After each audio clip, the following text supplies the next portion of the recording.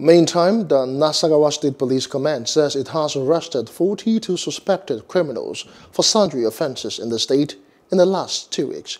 Commissioner of Police Bola Longe said this while parading the suspect at the force headquarters in Lafia, the state capital. He explained that the suspect included a cult group that has been disturbing the peace of residents, as well as other suspected criminals involved in kidnapping, armed robbery and vandalization of railway tracks and sleepers.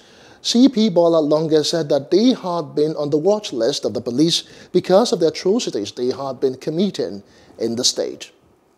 Police command deployed undercover police operatives around all banks in the state.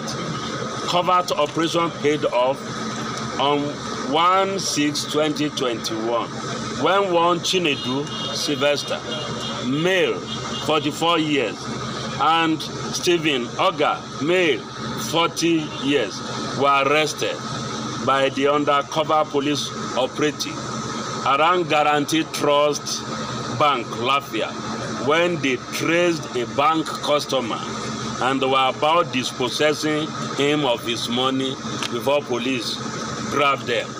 And uh, we have interrogated them. They have confessed uh, the criminal acts they have committed.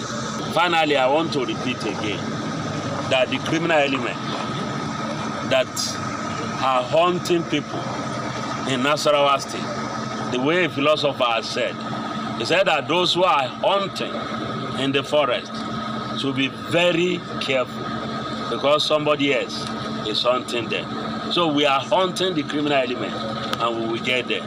We will fumigate them out of Nasarawa State. Hello. Hope you enjoyed the news. Please do subscribe to our YouTube channel and don't forget to hit the notification button so you get notified about fresh news updates.